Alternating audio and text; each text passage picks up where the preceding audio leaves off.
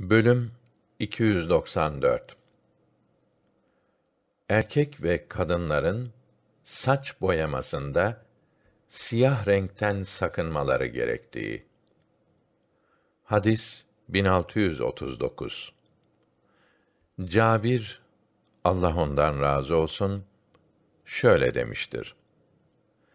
Mekke'nin fethedildiği gün Ebu Bekir es-Sıddık'ın babası Ebu Kuhafe'yi saç ve sakalı beyaz çiçek gibi bembeyaz olmuş bir vaziyette Peygamber sallallahu aleyhi ve sellemin huzuruna getirdiler. Bunun üzerine Rasulullah sallallahu aleyhi ve sellem şöyle buyurdu. Bu ağarmış saçları boyamak suretiyle değiştiriniz ve siyah boyadan sakınınız.''